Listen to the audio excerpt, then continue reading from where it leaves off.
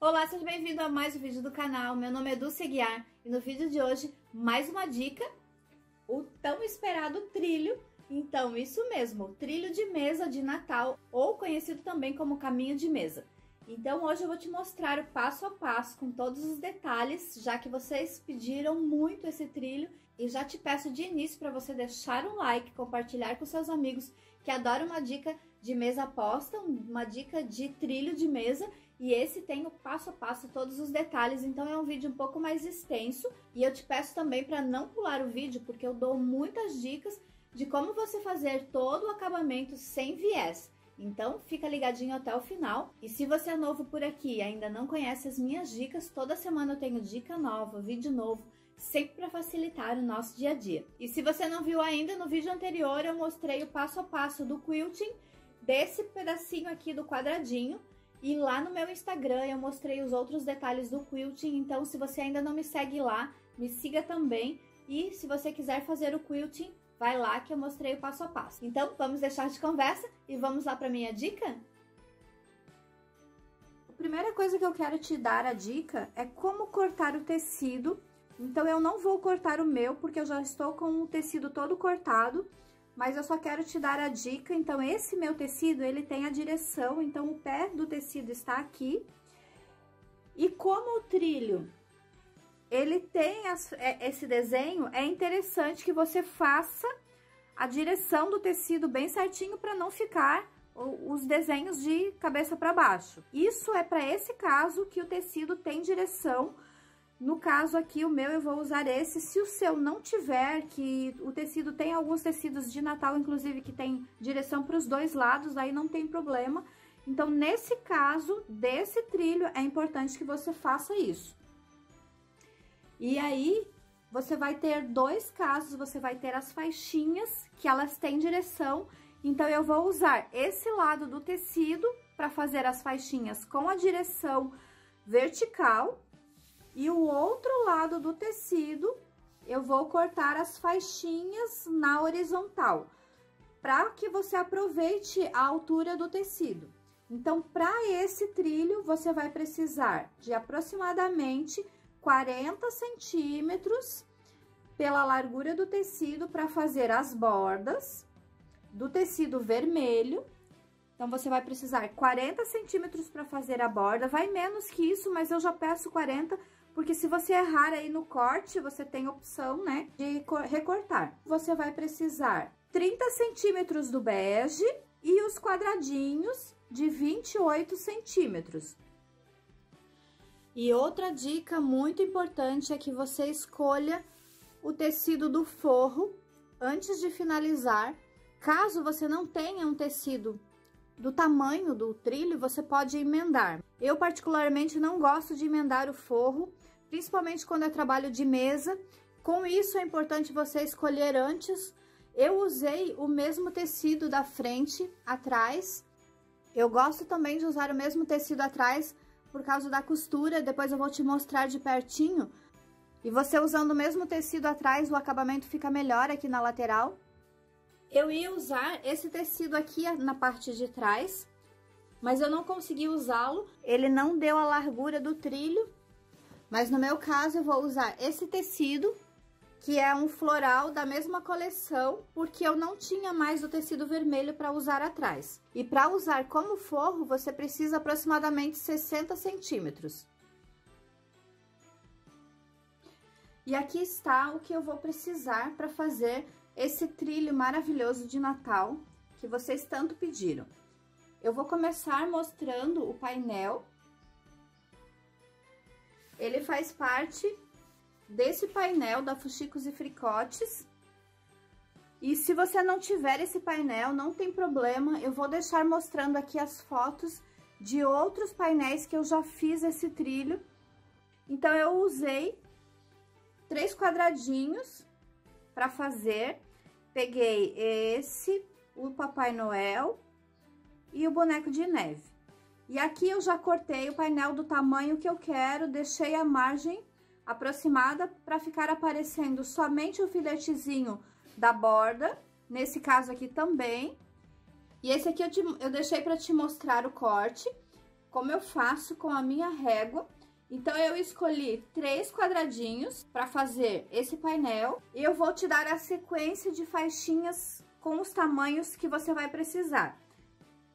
E sempre que eu tenho esse trilho, eu gosto de destacar o quadrado central. Então, no caso aqui, eu destaquei com essa borda bege para poder dar mais destaque ao centro. E eu comecei cortando seis faixinhas de 4 centímetros pela largura do meu painel. Então, o meu painel tem 28 centímetros, eu cortei seis faixinhas de 4 centímetros por 28, que é exatamente o tamanho do meu painel. Então, meu painel tem 28 por 28, seis faixinhas de 4 por 33, e eu também vou precisar quatro faixinhas de 5,5 por 33 na horizontal e duas faixinhas de 5,5 por 41 na horizontal. Essas duas faixinhas vão ser as duas pontas do painel, é a superior e depois aqui embaixo a inferior. São as duas maiores. E eu vou deixar na sequência que eu vou utilizá-las para levar lá na máquina para te mostrar. E eu também vou precisar de seis faixinhas, que serão as laterais, que é essa parte. O meu tecido, ele tem pé, então eu tive que cortar assim na vertical. Então, eu cortei mais seis faixinhas de 5,5 por 33. E para fazer esse detalhe, do, do quadrado, eu vou precisar também de quatro quadradinhos de 13,5 centímetros. E eu também vou precisar de quatro faixinhas na vertical de 5,5 por 13,5, que é a altura do meu quadradinho. E mais quatro faixinhas de 5,5 por 17,5 na horizontal. E vou começar te dando a dica sempre que você tem esses quadradinhos eu deixo a borda para dar o destaque ao meu painel, porém eu tiro essa partezinha branca para não aparecer aqui na hora da costura.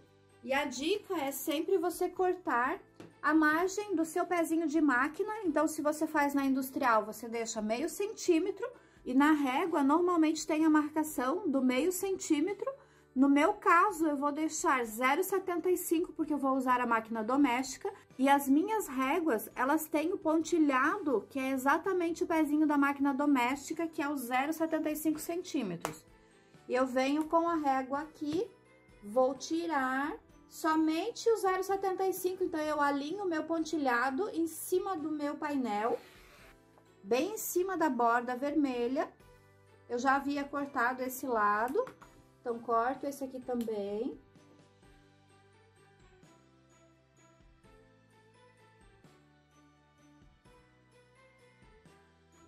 E eu fico assim com uma margem de 0,75 em todo o painel. Então, todos eles estão com essa margem de 0,75. E agora, eu vou lá para a máquina, começando com os beges. Então, vou costurar primeiro bege em volta de todos os quadradinhos.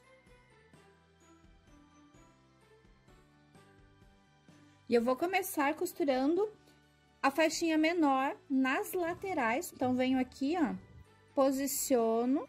E sempre que você costurar faixa, é muito importante que você coloque um alfinete para o tecido não ceder demais e não ficar maior que a sua faixa.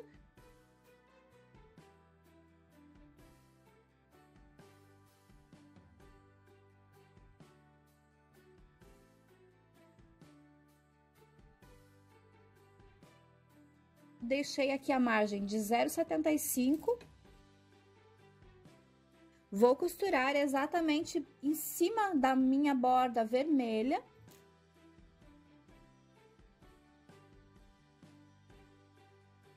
Coloco a faixa do outro lado também.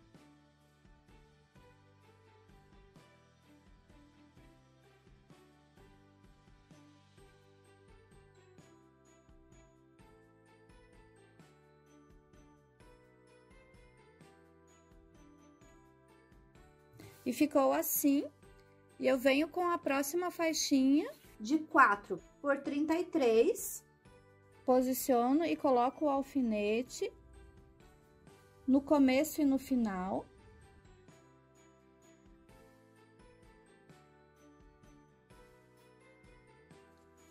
E faço o mesmo na parte superior.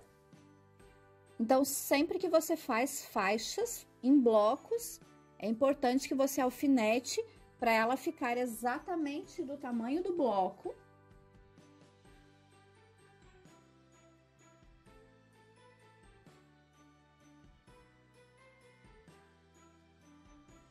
E continuo costurando com a agulha bem em cima da borda vermelha.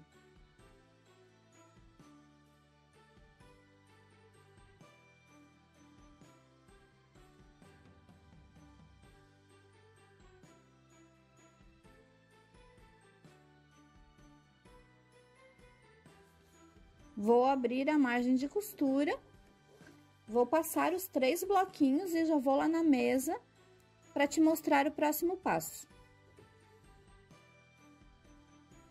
E se você não tem esse bloquinho, então você vai fazendo passo a passo comigo, vai medindo o bloquinho e vai fazendo as faixinhas de acordo com o tamanho do seu bloco. Então, eu fiz aqui o primeiro passo, o meu bloco ficou com 33 centímetros, e agora eu vou usar a faixinha de 5,5 por 33 e vou posicionar aqui nesse lado. Então, vou costurar todas as faixinhas primeiro nas laterais.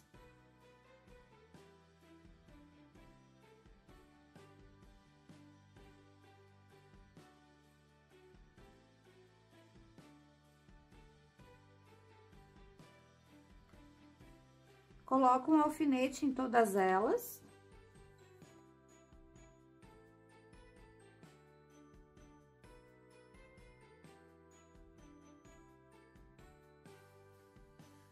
E o meu tecido, ele tem pé, então sempre posicionando aqui, ó, na lateral, para que ele fique exatamente na posição que eu quero.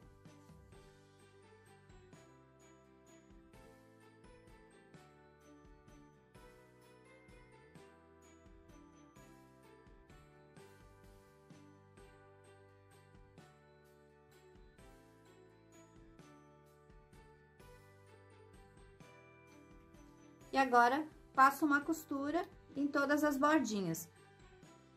E faço uma costura sempre com a margem para cima, para facilitar a costura.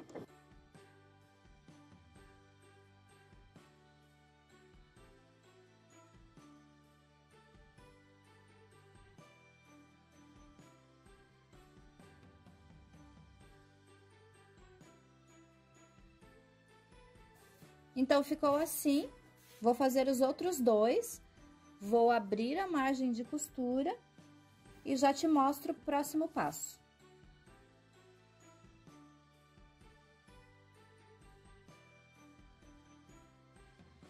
E aqui eu já costurei as faixinhas e ele ficou assim dessa forma.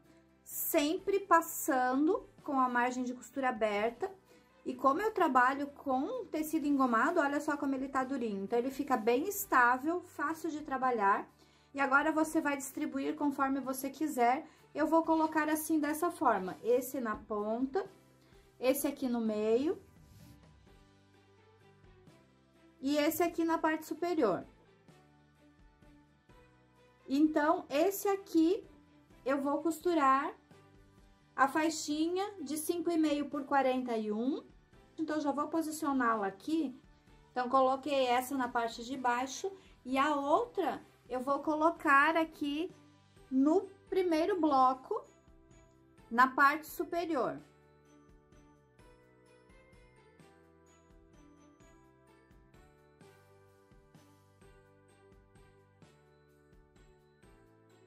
E agora eu vou fazer os quadradinhos para colocar na sequência do projeto. E agora é muito importante que você tenha muita atenção nos quadradinhos. Eu vou fazer um quadradinho, até vou deixar ele aqui para você conseguir visualizar. e entender o que eu tô falando. Você vai ter um quadradinho aqui e vou colocar uma faixinha nesse lado, então ele vai ficar assim. E o outro quadradinho, ele vai ficar desse lado. Como o meu tecido tem pé, ele vai ficar desse lado, assim. Então, em resumo, eu vou costurar um do lado esquerdo e o outro do lado direito. Então, vão ser dois do lado esquerdo e dois do lado direito. Isso só porque o meu tecido tem pé. Se o teu tecido não tiver pé, então não tem problema. Vou costurar esses dois e, e depois, na sequência, eu vou fazer os do lado esquerdo, vou costurar na parte de baixo. E os do lado direito, vou costurar no lado superior. Então, serão dois no lado superior e dois do lado inferior.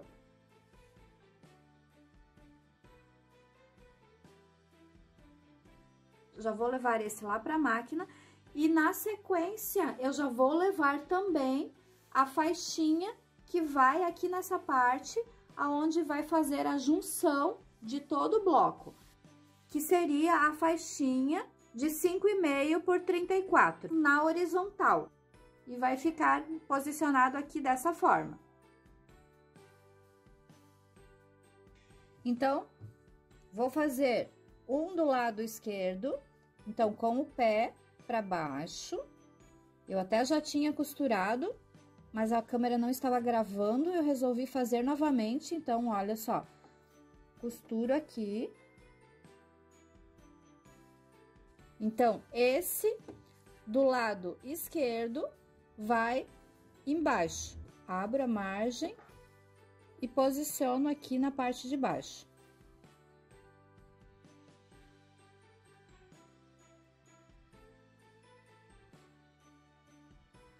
Então, fico com dois dessa forma. E dois, então, do lado direito, com o pé para baixo.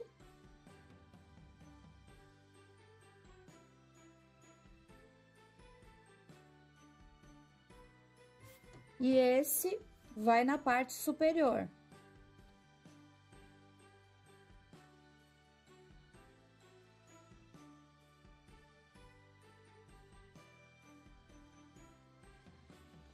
E fico com dois assim e dois assim. E agora eu vou fazer dois costurando essa borda aqui na parte superior e o outro na parte inferior. Então, vou deixar aqui duas bordinhas para esse e duas para esse. Então, venho aqui com a bordinha na parte superior. Essa é a faixinha de 5,5 por 33.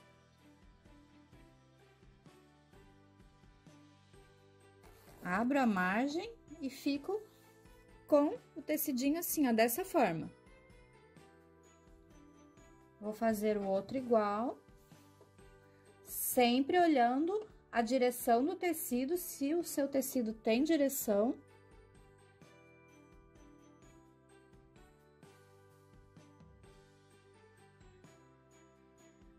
E o outro, a faixinha vai na parte inferior. Então, coloco aqui, ó, direito com direito, alinhando no início do tecido bege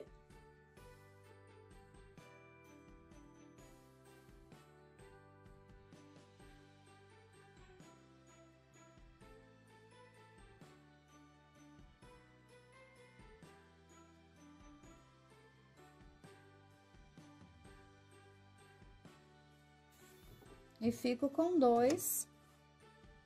Eu vou costurar também aqui, ó, aquelas duas faixas na parte de baixo do painel, que é a parte inteira.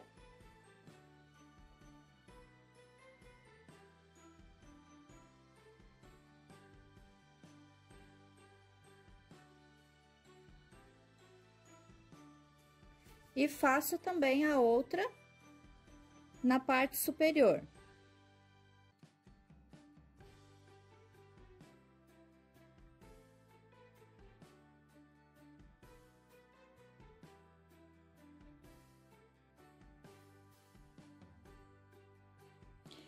E aqui eu vou fazer a montagem para você ver. Então, esse aqui vai ser o meu quadrado superior.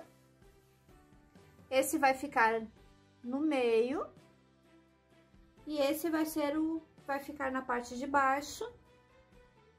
Eu afastei um pouquinho a câmera. Não vai ficar a qualidade tão boa, mas eu acho que fica melhor de você visualizar. Então, Aquele que eu fiz a barrinha na parte de baixo vai ficar aqui, nessa posição. E agora eu venho com as laterais.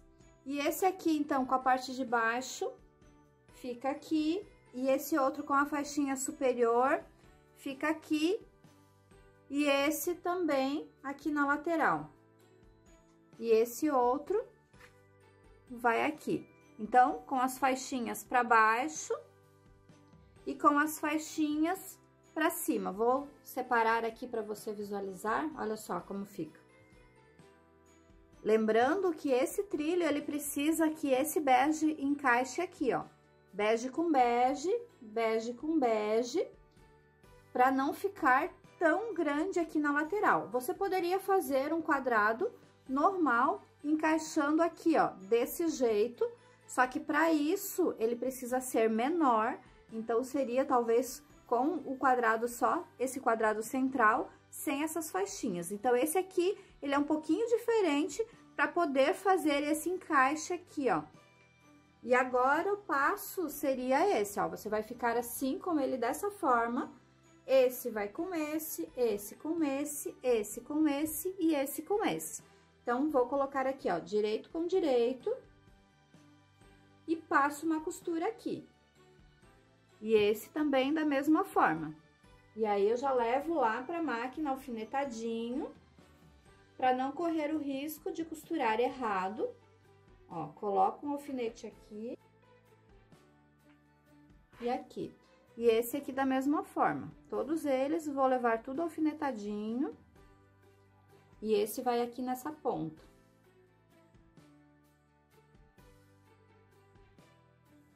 E esse vai com esse.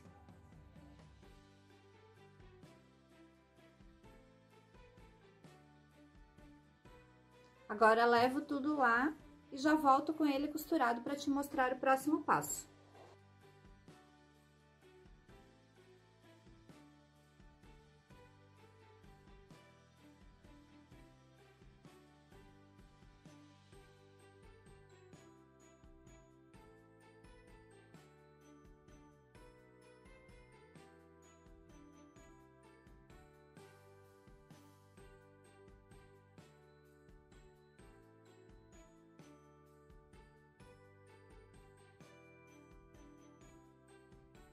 E agora é só fazer a montagem.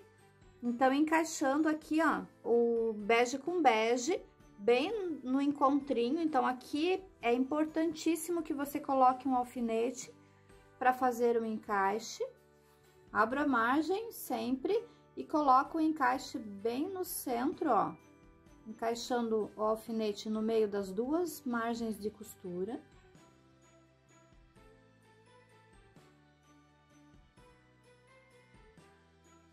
Coloco um alfinete aqui no meio também. E nesse lado também.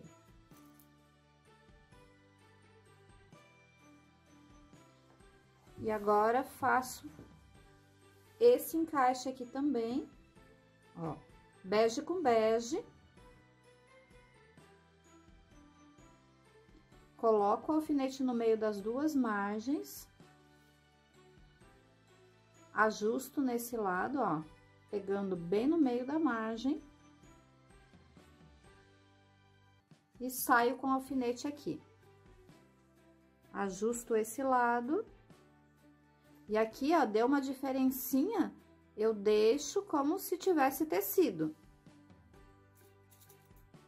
Coloco um alfinete, ajusto a faixa, ela precisa ficar, não pode sobrar de nenhum dos lados. Coloco aqui também. Ajusto esse lado, a faixa precisa ficar bem retinha. Coloquei o alfinete, agora é só ir lá na máquina, passar uma costura nos dois meios.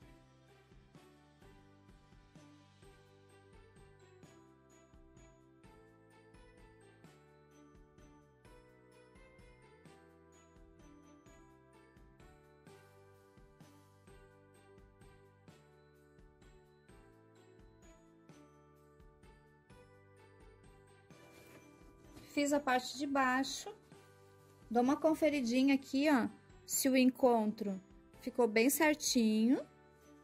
E agora eu vou fazer a parte superior.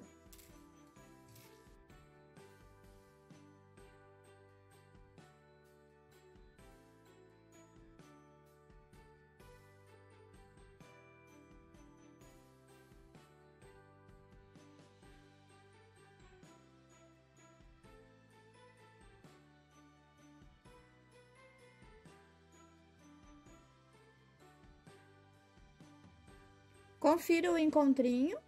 Então, está perfeito. Agora, vou lá na mesa fazer a montagem. E aqui está o trilho finalizado, o topo do trilho finalizado. Infelizmente, eu não vou conseguir mostrar nesse vídeo todo o processo de finalização, porque o vídeo ficou muito extenso e eu não consegui terminar de editar. Então, fica ligadinho no canal que no próximo vídeo eu vou te mostrar como finalizar esse trilho, colocar a manta e o forro e fazer toda a parte de costura para o acabamento sem viés. Mas não esqueça de comentar aqui se você gostou dessa dica, se você vai fazer, me marque nas redes sociais que eu quero ver o seu trilho. E a gente se vê no próximo vídeo. Até mais!